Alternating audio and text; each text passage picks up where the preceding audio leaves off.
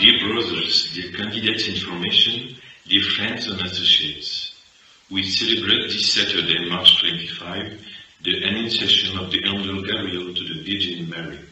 We celebrate the incarnation of the Son of God, Jesus Christ, who enters into the human condition through the yes of the Mother of God. This is the day chosen by our Father John Eudes to found the congregation that precisely carries the names of Jesus and Mary. This happened 374 years ago, but as the mystery of the Incarnation is a current reality, I have the intimate conviction that the foundation of the congregation is a current reality. It's not an act of the past, it's the actual work that John Eudes pursues from where he is living the glory of God. St. John Eudes is not a figure of the past. In him we find our deep inspiration to embody our mission today in fidelity to what he has transmitted to us and today to unite in one body together.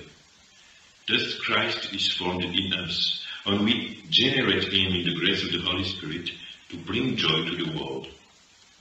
We want to manifest the proud and happy face of what we are as Eudists, which the, with the great richness of our differences between provinces and between generations. We want to incarnate with joy what is to be Eudist as incorporated and associate, as men as, and as women, in our diverse cultures and our various social situations, by welcoming the other's share as the revelation of my own identity. Let us ask. John Eudes for the grace of a profound renewal of our relations in the first place between us, the nearest or the most distant, so that charity becomes even more the inner principle which animates the life and missions of the Eudists through the world. Charity is the treasure we want to share. We do not forget that in his testament, St. John Eudes established us rails to the heart of Jesus and Mary. He gave it to us as the life that gushes forth and animates the body we form together and the mission we perform. May St. Eudes and the blessed of the congregation remind us of love. This is my prayer for each and every one.